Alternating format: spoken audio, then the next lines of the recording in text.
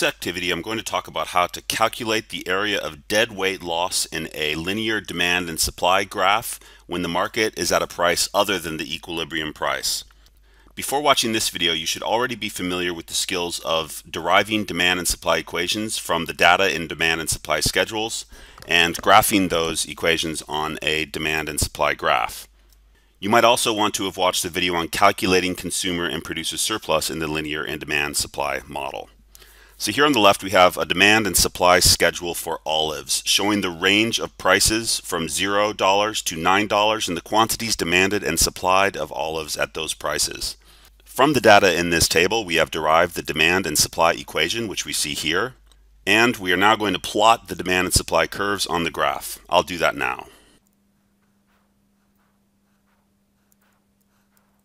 So we've plotted our demand and supply curves on our graph, and we can see from the graph that the equilibrium price of olives is $5, and the equilibrium quantity is 20,000 kilograms of olives. If we were to set our demand and supply equations equal to each other, we would find that the equilibrium price is indeed $5 and the quantity 20. It's also easy to see that from our table because at that price, quantity demanded equals quantity supplied. The purpose of this video is to figure out how to calculate the dead weight loss arising in a market when the price is something other than equilibrium. But to do so, we're first going to calculate the areas of consumer and producer surplus when the market is at equilibrium.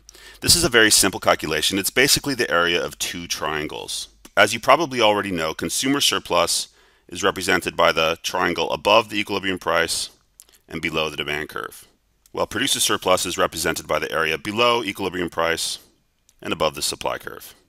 Therefore, to find the amount of total welfare in the market, we must simply find the area of these two shapes and add them together. I'll do that now.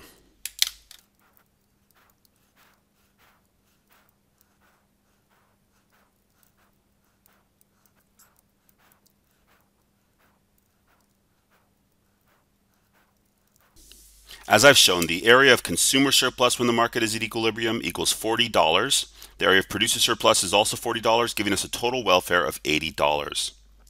So what happens if the market falls out of equilibrium? What if the price in the market is something other than $5? How do we find the areas of consumer surplus, producer surplus, and deadweight loss when the market is in a disequilibrium? Let's look at what happens when the price of olives is at $7 rather than the equilibrium of $5.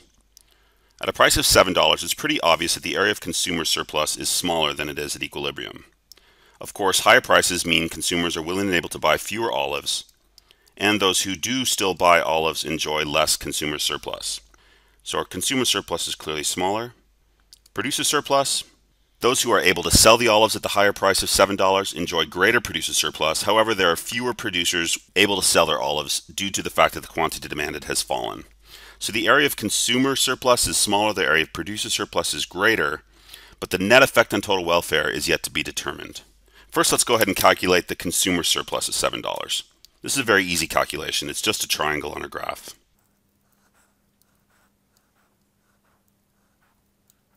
The area of consumer surplus has decreased to only $10 at the higher price.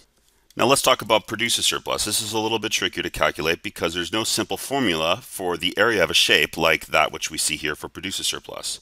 So what we have to do is divide this into two more easily calculable areas. As you can see, the producer surplus at $7 is essentially a rectangle on top of a triangle. So what we need to do is find out what the price is when producers are willing and able to supply the quantity supplied of 10 indicated here on the graph. So looking over here at our supply schedule, we can see that at a price of $3, the quantity supplied is 10. This allows us to calculate the upper part of the producer's surplus on our graph. We can calculate the purple rectangle by using the numbers we have indicated here. So producer surplus is essentially in two parts. The upper part, the area is 7 minus 3 times 10 which is an area of $40.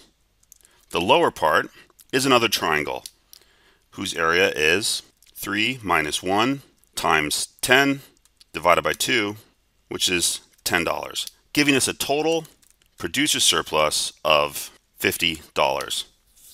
So we can see that in fact overall producer surplus is increased from $40 to $50 at the higher price of $7, giving us a total welfare when the market is in a disequilibrium at $7 of $10 of consumer surplus plus $50 of producer surplus, a total welfare of $60. So what about the deadweight loss? What about the welfare loss? How much worse off is this market at the price of $7 than it was at the equilibrium price of $5? Well, although some producers are better off, all consumers are worse off, and overall the market is less efficient at the higher price of $7. The dollar amount that represents the inefficiency of the market at this higher price can be found by subtracting the original total welfare from the new area of total welfare. That gives us a net effect on total welfare of negative $20, or in fact negative $20,000 since our quantities are indicated in thousands here. This represents the loss of total welfare in the market resulting from a disequilibrium. The purpose of this video was to teach you how to calculate the area of dead weight loss in a market arising from a market being in disequilibrium. First, we calculated the amount of total welfare when the market was at its equilibrium price and quantity of $5 and 20,000 olives. Then we calculated the consumer and producer surplus when the market went into a disequilibrium at a price of $7. On our graph, we can see that the loss of total welfare is represented by these two triangles here. The upper half of this triangle represents the loss of consumer surplus. The lower half of this triangle represents the loss of producer surplus. Overall, the area of this triangle is $20,000, which we determined by subtracting the total welfare when the market was at disequilibrium from the total welfare when the market was in equilibrium. Another method you could have used to calculate the area of deadweight loss would have been simply to find the area of these two triangles. As you can see, the deadweight loss is essentially two right triangles. So another method that you might have found simpler was to calculate the area of those two right triangles and add them together to find the total amount of deadweight loss in this market. So I need to give a quick shout out to a student who won a challenge in my class. Congratulations to Theo. You are the master of the circular flow.